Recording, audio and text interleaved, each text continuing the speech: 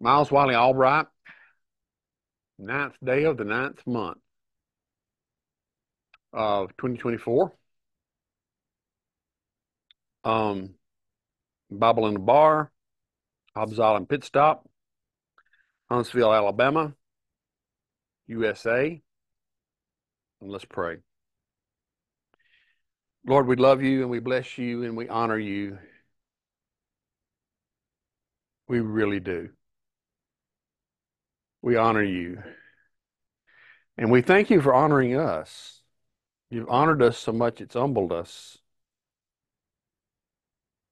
Thank you, sir, for your word, the word of God, and for this series of, of just going deep into the word of God and sifting out the word by the word. Help us and make this valuable forever. In Jesus' name, amen. Amen. Amen. Um, we're in John chapter 12. And uh, again, we're, we're, we're in a series here of looking at chapters in, in John through the ninth verse of John, John 1 9, which says, The true light that gives light to every man was coming into the world, which is my favorite verse in the whole Bible. It's about the incarnation of Christ, but it's also about his divinity in that he is and was speaking to every person all the time. And that God, the Son of God, God the Son, who was in the Father and the Father in him, was speaking to every man, the conscience of every man.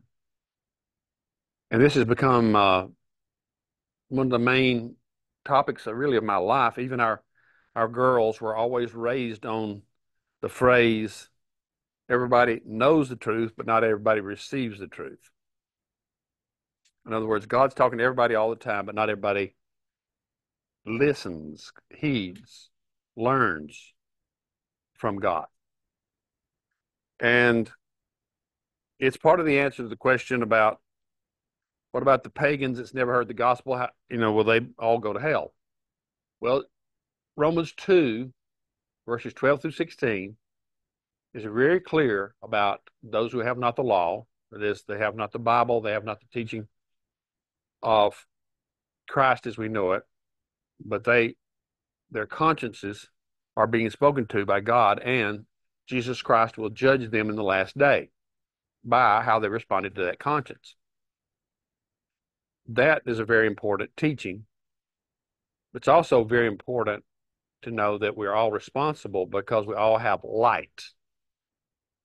The light of Christ, the true light that gives light to every man. So we've gone through these chapters and sifted through each verse and looked at them through the lens of this one verse. So if you've ever had a, a, a Bible lesson where you were studying the scripture by the scripture, this is it. This is painstakingly taking one verse and looking at a whole book. It's not just some proof text and very shallow application or understanding. It's a very deep understanding of the very Word of God and how the Holy Spirit wrote the book of John through John and how he chose to write about every man's conscience being spoken to by the very person who walked the shores of Galilee in sandals. So, I've enjoyed it immensely. I have learned to believe this. I mean, this has been an old teaching with with us, even with my family. But this has really gone deeper for me, and I've enjoyed it immensely. Uh, I don't look to look. I don't look forward to this being over. Uh, it'll change a little bit after this chapter, I think, but we'll see. We'll see. Now, with that in mind, true light that gives light to every man was coming into the world as Christ. we begin in John chapter 12, verse 1. Now, the context here is, of course, John 11. And John 11 is where Jesus has done his ultimate miracle, other than his own resurrection. His ultimate miracle is to raise a man from the dead who's been in the tomb four days. He's probably been dead five days. Six days before the Passover, Jesus arrived in, at Bethany where Lazarus lived, whom Jesus had raised from the dead. Now he's arriving in Bethany, and that's where Lazarus and his sisters live.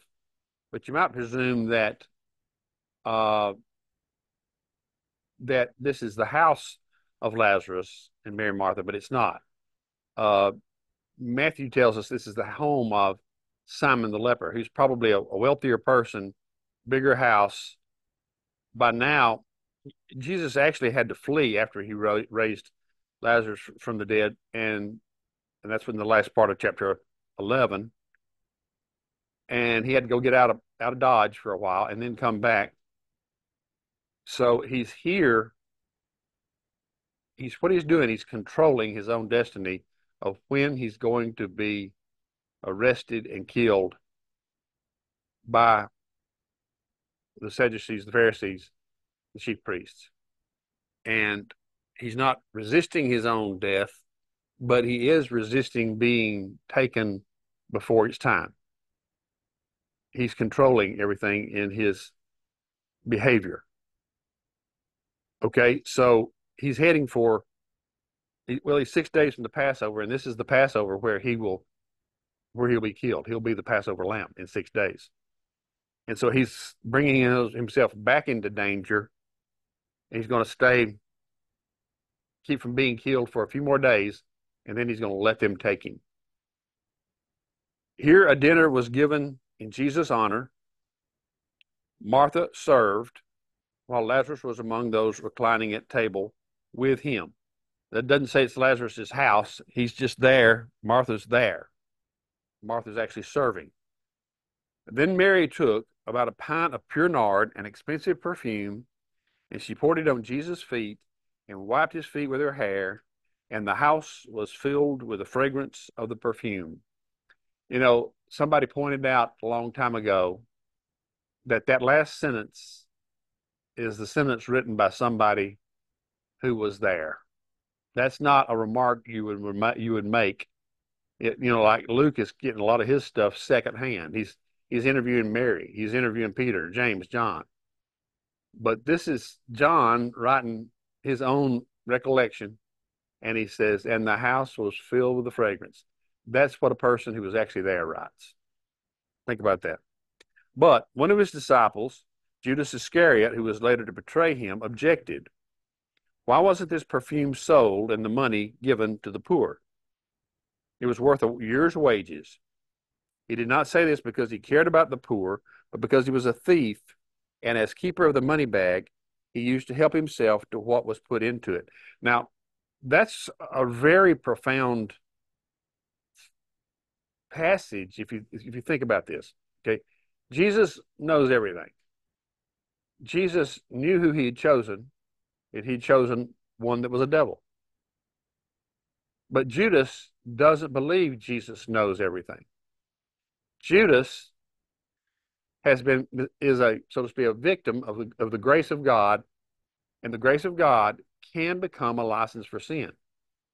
In other words, if you see God blessing you, even your while you're still doing wrong, it can cause you to not repent of the wrong. In fact, to do more wrong. If if Jesus is blessing Judas so much that he's giving him the power to heal the sick and raise the dead, the, and at the same time he is stealing money from the money bag then he really is having a certain contempt for Jesus. Yeah, Jesus has got power and Jesus can convey power. And I saw my, my own hands open the eyes of the blind. Judas is thinking.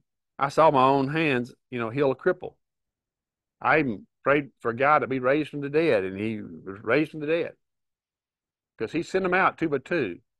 And Judas had to be part of a situation like that and yet he was stealing from the bag. That's what's called the hardening of blessing. The grace of God, if your heart is hard, if God shows you grace, gifts, power, can become a license for sin.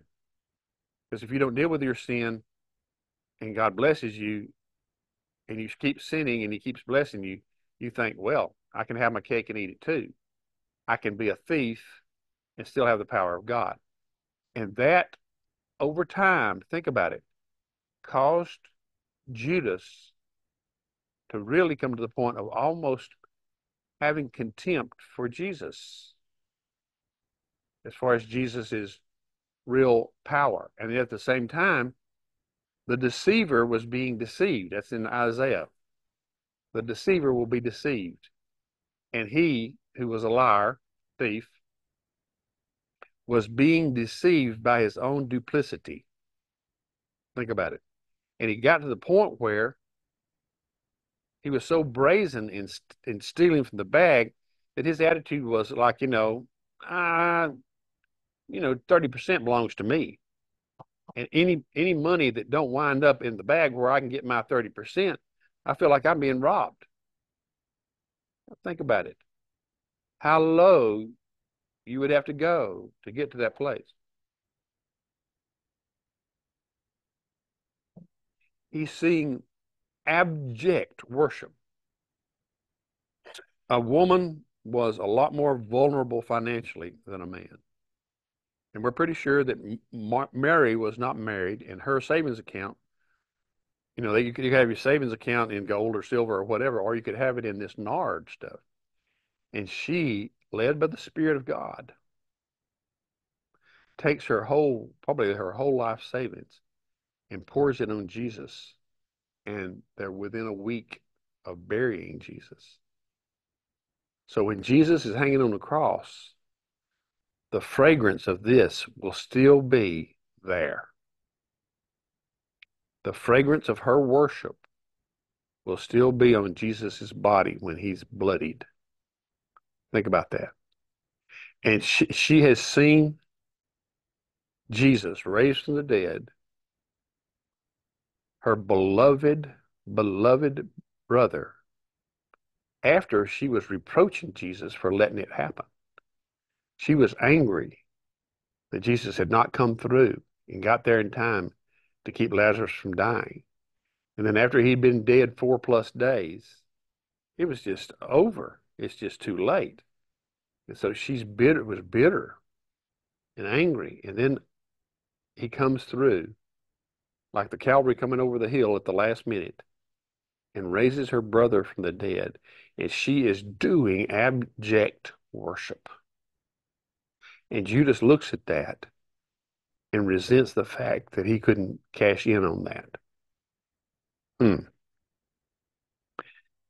You know, I'm the one time that I have been a pastor and we built a church, we built very simple metal building, no no uh, no steeple, no anything, very simple, very functional.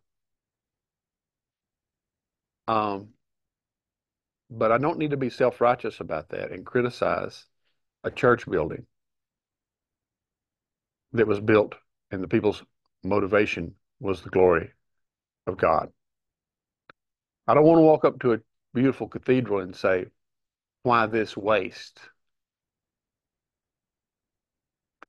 Who said, Why this waste?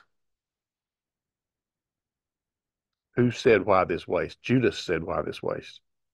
I don't know the motivation of those who built that cathedral. I don't know if it should have been spent to help the poor. In this case, this extravagant use of these finances here was the right thing to do, regardless of how many poor people were in Jerusalem, Bethany. It was right. So let's just be careful lest we criticize those who extravagantly worship the Lord. We wouldn't. Let's don't be Judas. But Judas gets out there, sticks his neck way out there. He's really criticizing the Spirit of God for calling for this extravagant worship. And he's gradually got there. And the timing has been all from the Lord because he's a setup. His flesh is a setup. He's, he's doing his own will.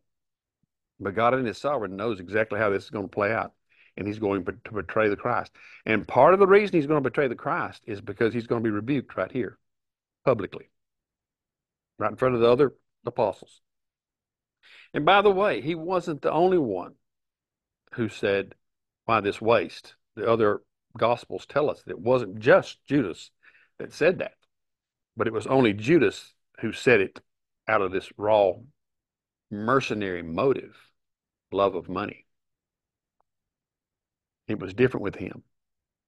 Don't you know the others got goose pimples when they thought about they joined with Judas in criticizing Mary's worship after they realized exactly what was happening after the resurrection. Wow. That would have been a, a scary moment. Okay. Now, Jesus says in verse 7, Leave her alone. Jesus replied, It was intended that she should save this perfume for the day of my burial. You will always have the poor among you, but you will not always have me. Meanwhile, a large crowd of Jews found out that Jesus was there and came, not only because of him, but also to see Lazarus, whom he had raised from the dead. So it's been several days. We don't know how long. Jesus had retreated after he raised Lazarus, but now everybody's going crazy about this Jesus guy because it's Lazarus is a well known fellow. They know he's dead. They know he was raised from the dead after four plus days. Jesus. This is this is really awesome. But he's out of town because he's in danger because they want to kill him. The authorities want to kill him more than ever because they're really getting in danger of losing their power to this jackleg, gen, uh, jackleg uh, Galilean evangelist. And they don't want to lose their position. But he's gotten out of town. Now he comes into town. They're getting close to the Passover. People are starting to arrive. Crowds are getting bigger. Uh, everybody's talking about the Lazarus thing. And so they decide to have a party to honor Jesus and with Lazarus there. And apparently they choose the home of Simon the leper, which is probably a, a larger home than the home of Mary, Martha, and Lazarus. And yet, outside this, everybody would have been crowding trying to get in there. But outside this building, a large crowd of Jews found out that Jesus was there. Where? At this Simon the leper's house. They came not only because of him, but also to see Lazarus.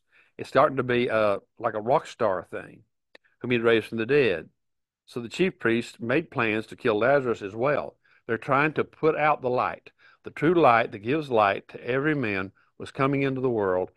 And not only had he been speaking to the conscience of every person, but now he's he's doing works that testify of him in a way that no one has ever been testified about before.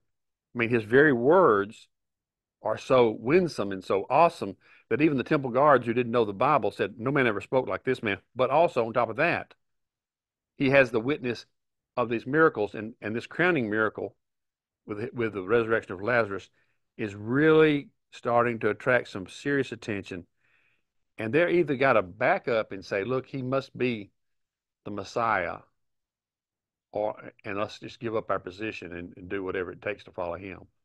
Or they've got to not only kill him, but try to put out the light that he's lit over here in, in Lazarus's life. That's pretty dark. It's pretty awful. But it's amazing the love of money, the love of position, what people will do to even try to kill the light to kill the Son of God to preserve their position.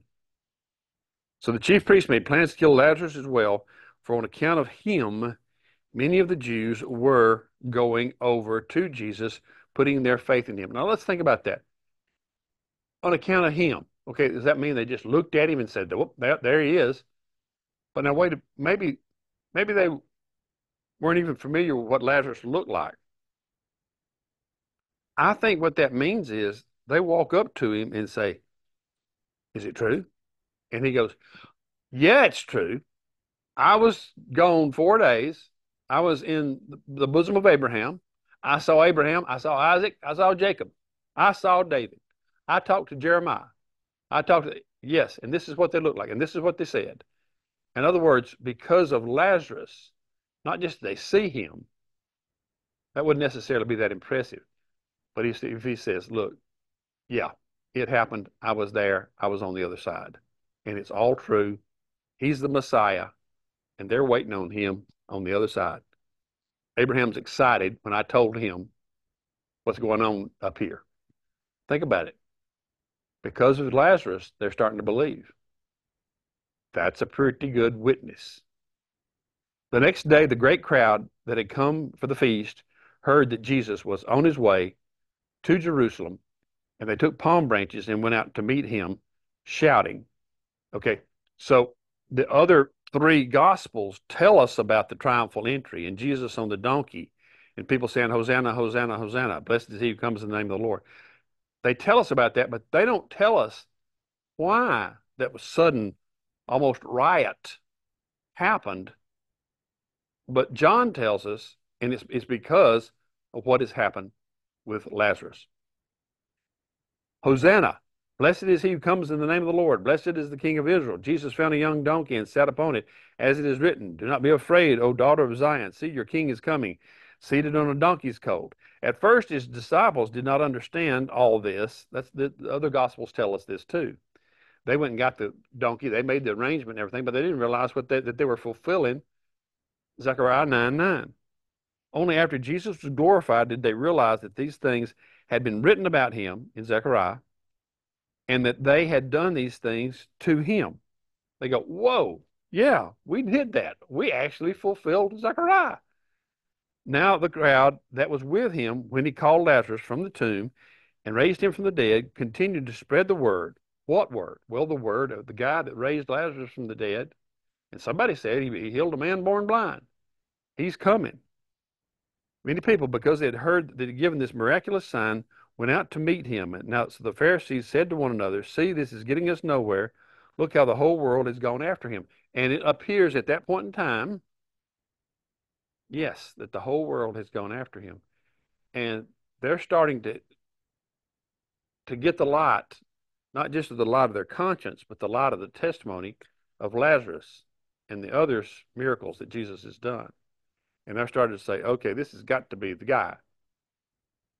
So there's a light coming from that besides the light that's coming to every man's conscience. But those who have a vested interest in him not, be, you know, being received as a Messiah, are going to try to put out the light. Now, there were some Greeks among those who went up to worship at the feast. Okay, we're getting close to the Passover again. At the beginning of this chapter, we were six days out. And so these Greeks, Greek, they're Greek Jews. They're Greek by nationality, but they've been converted to Judaism. And so they've come all the way from Greece, which is a long trip for them, expensive. They've come all the way to Jerusalem. And all the way up in Greece, there would have been talk. There would have been news. They, they probably had heard about it before maybe they even left Greece about Lazarus. They certainly had heard the other stories. And they these are Greek people who had previously been converted to Judaism who are now saying, oh, we came, became Jews just in time for the real Messiah because apparently the real Messiah is here.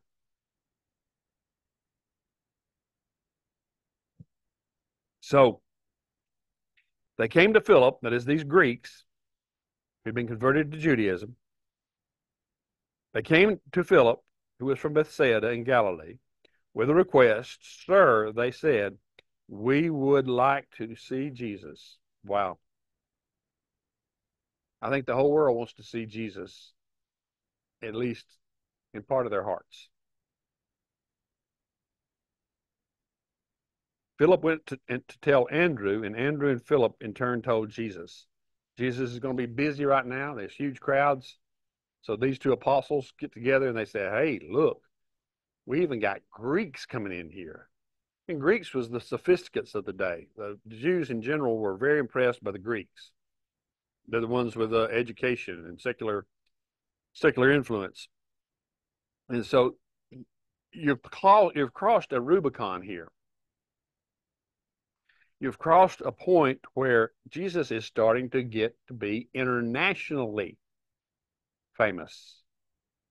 And of course, this is not a surprise to Jesus, but it is a clear indication that if he's ever going to be crucified, it's got to be now because he's getting to be too popular. When the when there's a, past a certain point of everybody saying, "Okay, he must be the Messiah," then he will never be crucified. You know, many times when Jesus would do a miracle, he would say, Don't go tell anybody. Why was that? Because he, all of his life, had one foot on the accelerator and one foot on the brake to do what he was called to do without becoming too popular. Because job one for Christ was not to teach or to heal, as important as those were. Job one was to die and rise from the dead and atone for our sins and redeem the whole world. Remember this. This is something that, you know, Barbara and I talk about all the time in our Bible studies. Jesus is the lamb slain from the foundation of the world. Before there was Adam and Eve, before there were lambs and sheep. The scripture says in Revelation 13 that Jesus was the lamb slain from the foundation of the world. He knew in God that they were going to make free will beings that would rebel and, and in order for that to not be a disaster, but to be a family, a loving family who had been there, done that, been redeemed by the blood of God, he knew that he would have to die and redeem them from the very beginning. And so Jesus is now coming down to the last six days. He's coming in for a landing, the landing at Calvary you know, over in Luke 12, I believe, it says, Jesus says, I have a baptism to be baptized with, and how I'm constrained until it is accomplished. In other words, I'm going to have to be baptized in death, suffering in death. And I'm constrained. What does that mean? Well, partly what that means is he has to keep one foot on the brake, constrained he has to keep himself from becoming too popular too quick because he has to die. So in, in the in the Father's sovereignty, God's controlling stuff, but also Jesus in in the natural down here is controlling things. One foot on the gas and one foot on the brakes. That's what's going on here. So Jesus replied after they say you're becoming internationally famous. The Greeks are here, you know, they they've come here wanting to you know, see you. Jesus replied, The hour has come for the Son of Man to be glorified, okay, which clearly means death, burial, and resurrection. It clearly means exactly opposite what the devil thought. When the devil hears Jesus say he's about to be glorified, he's thinking, no, he ain't about to be glorified. He's about to be shamed. He's about to be dishonored. I'm going to do my best to kill the guy, get him stripped naked, beat to a pulp, and naked, hung on a pole on the edge of town, hung on a cross by the roadside.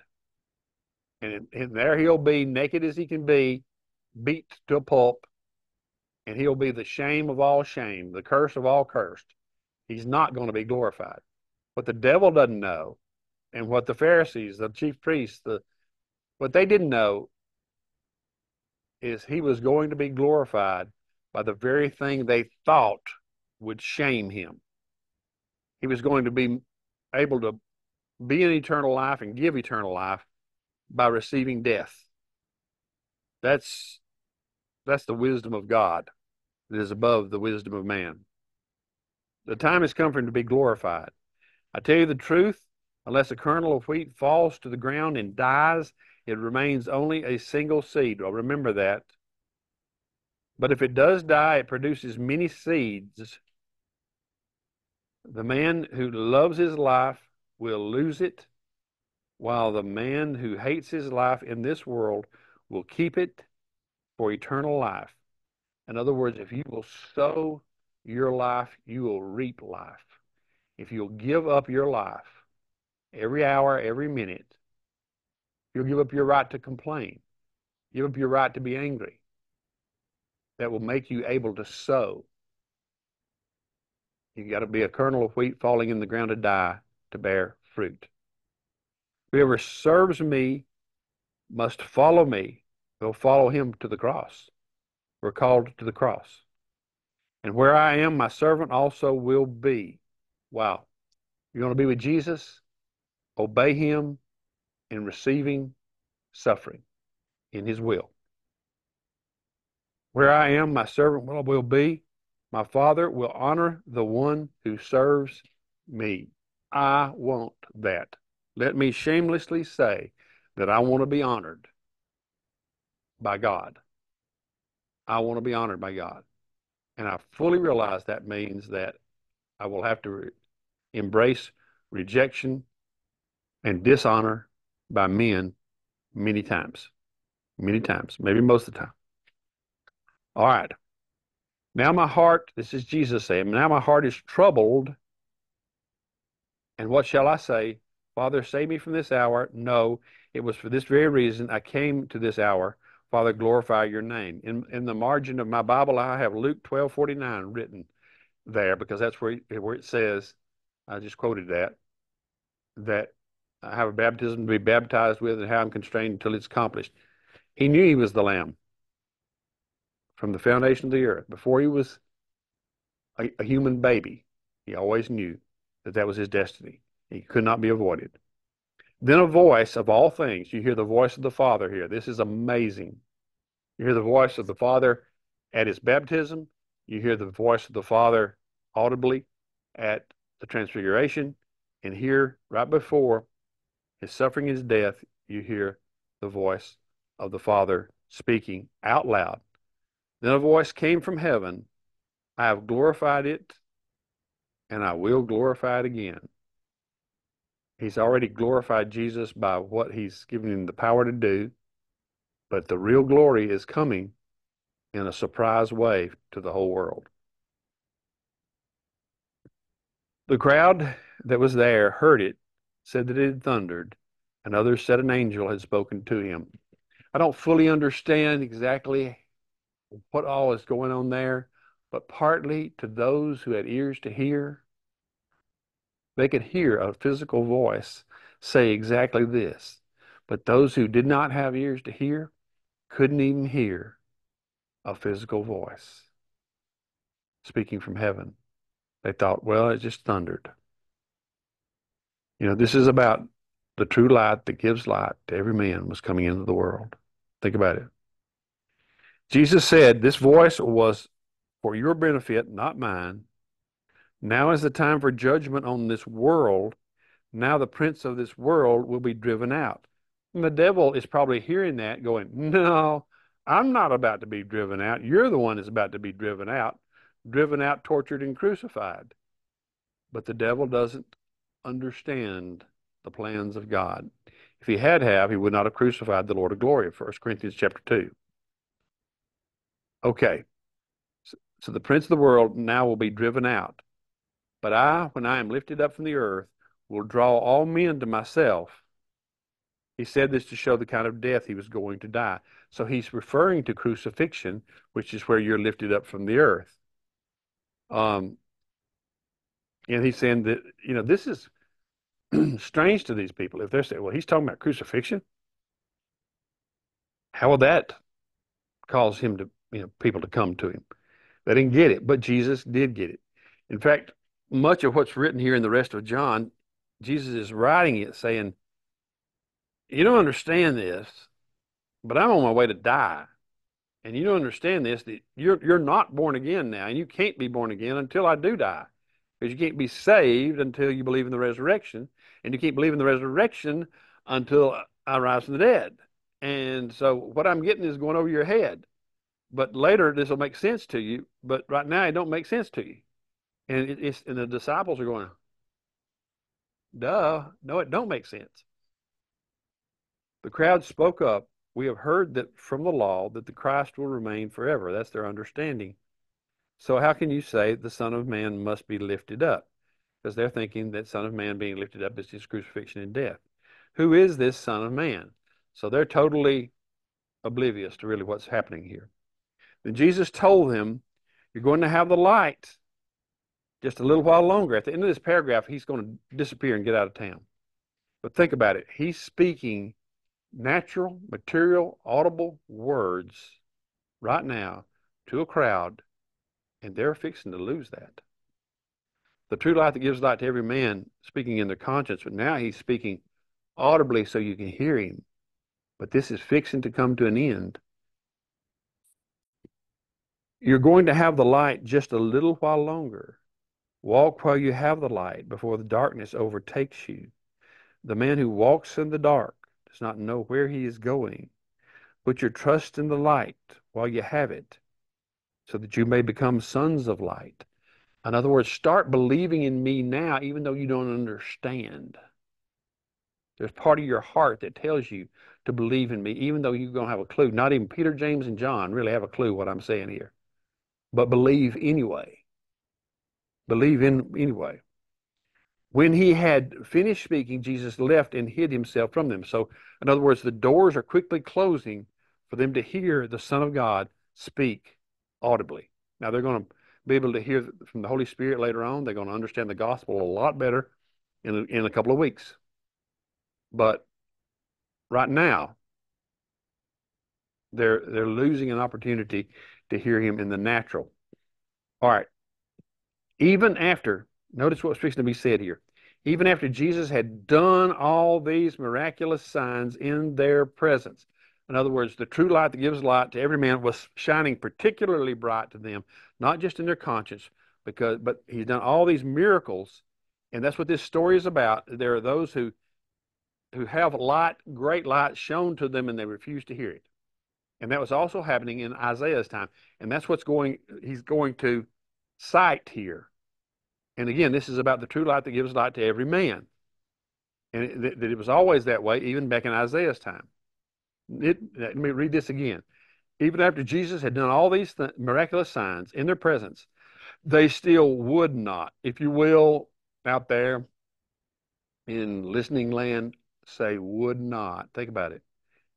They would not believe in him. It's not that, that they it wasn't available to them, but they were there was a choice. They would not believe in him. This was to fulfill the word of Isaiah the prophet Lord, who has believed the message and to, whom is the arm of the Lord been revealed? That's what Isaiah said after he says, I saw the Lord high and lifted up sitting on the throne. John, uh, Isaiah 6. He saw Jesus. He saw the pre incarnate Christ right there in the temple, and the ground shook.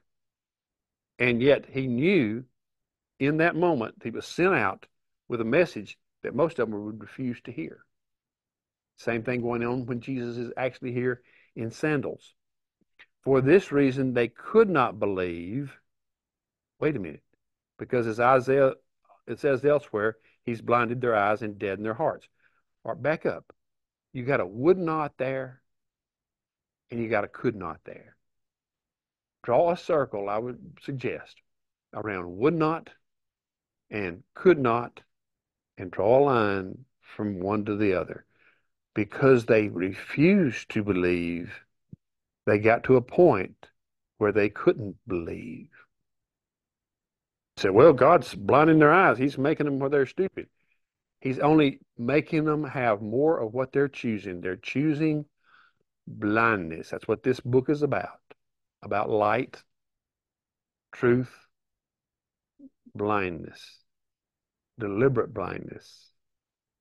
They could not believe, so they would not believe, so they could not believe. We read this again, verse 39.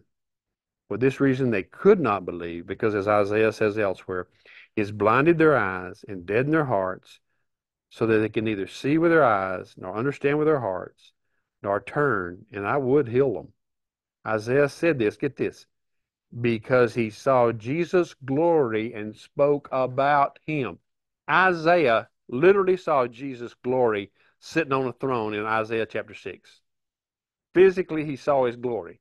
But what in this chapter, the glory of God is when he's talking about when Jesus dies and is raised from the dead. Guess what else? Isaiah also saw that aspect of his glory.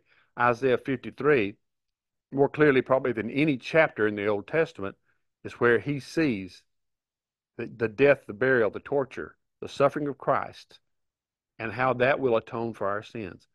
Isaiah 53, 12 verses there. In other words, Isaiah saw Jesus on a throne, but he also saw him on a cross. Both were glorious. But his greatest glory is his death, burial, and resurrection. Isaiah saw his glory and spoke about him. You know, the whole Bible is about Jesus. Ah, remember that would not, could not. That's that's where we're going. Yet at the same time, we're almost through here. At the same time, many, even among the leaders, believed in him. They did believe in him, but there's a but. They're believers, but with a but. But because of the Pharisees, they would not confess their faith for fear they would be put out of the synagogue, for they loved the praise of men more than the praise from God. Were these people who believed, it says they believed, were they believing unto salvation? I don't know. I kind of doubt it. They believe, but if you want to put actions to your faith, without actions, your faith is dead faith. Were these people saved? I don't know. Maybe after the resurrection, they said, Look, I don't care about the praise of man anymore. But if you you care about the praise of man too much to confess your belief, then your faith is probably dead, according to James. Then Jesus cried out, When a man believes in me, he does not believe in me only, but in the one who sent me. That's the Father. When he looks at me, he sees the one who sent me. I have come into the world as a light. Here we are again, the true light that gives light to every man. I've come into the world as a light so that no one who believes in me should stay in darkness. You could believe in him and possibly stay in darkness. But if you're really listening to the light, you'll be willing to be a grain of wheat that falls in the ground and dies. You'll be willing to hate your life and receive your life. Simple as that. As for the person who hears my words but does not keep them, okay? Maybe that's talking about these who supposedly believed, but does not keep them. I do not judge him, for I did not come to judge the world, but to save it. There is a judge for the one who rejects me and does not accept my words. That very word which I spoke will condemn him at the last day. I know we're, we've been going on a while here, but listen to me. That was exceedingly important. He's saying that in the last day, the words I have spoken to him will judge him in the last day and how he's received them. Think about this. This is not just written for a few people that were in immediate earshot of Jesus speaking for a few hours in a certain place, in a certain location. This Bible is written, these verses are written for more than those few people. Think about it, it would be crazy for it not to be. This is not even going to be written down for another 50 years, these words. But this is bigger than that. The true light that gives light to every man was coming into the world, and everybody will be judged by how they respond to the word that he is speaking in their hearts, whether or not they got to hear him audibly or not. There is a judge for the one who rejects me and does not accept my words. The very word which I spoke will condemn him at the last day. The words I've been speaking to you, you're responsible for. Remember, let's go back to remind you before we finish here. We're almost finished. Go to Romans 2 and let's let's hear that about the words that's been spoken even to those who do not have the law, who have not heard the word of God, who have not heard, you know, audibly, who have not heard the Bible audibly. Romans 2:12 get this, try to receive this. All who sin apart from the law will also perish apart from the law, and all who sin under the law will be judged by the law. There are some who don't really have a written Bible, but there's some who do. For it is not those who hear the law, the Bible, who are righteous in God's sight, but those who obey the law who will be declared righteous. Indeed, when Gentiles who do not have the law, they don't have a scripture, do by nature things required by the law, their law for themselves, even though they do not have the law, since they show that the requirements of the law are written on their hearts, their consciences also bearing witness, their thoughts now even accusing, not even defending them. And this will take place on the day when God will judge men's secrets through Jesus Christ, as my gospel declares. There it is. That's the witness to what he's saying here. They will be judged by how they responded to the word they had. And again, most of these people here did not were not an earshot of Jesus. If they did, could they even remember it three days later? How many of them got a copy of John 50 years later? Almost none. But still, they've been spoken to by the sovereign God, who is Christ. For I did not speak of my own accord, but the Father who sent me commanded me what to say and how to say it. I love that verse. But the, the Father is speaking through the Son to everybody. And God is speaking. You know, He's speaking to somebody in in South Mongolia and North America through the trees, the bushes, the, the bird nest. I know that His command leads to eternal life. So whatever I say is just what the Father has told me to say. So whatever He says in the scripture here but also whatever he says to the everyman who will never have a copy of the Bible. If they do, they may be illiterate. They may not be able to read it. This is a, a scripture that's about every man in all the world spoken to by God, who is Christ, the true light that gives light to every man who came into the world. Thank you, Lord, for this chapter. Thank you for the privilege of getting to bring this. I pray you make us all teachers in Jesus' name. Amen.